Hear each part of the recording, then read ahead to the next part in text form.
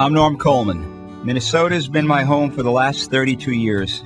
I know what it's like to save for that first house, work hard, pay taxes, play by the rules, and take out that second mortgage to send your kids to college. That's tough enough.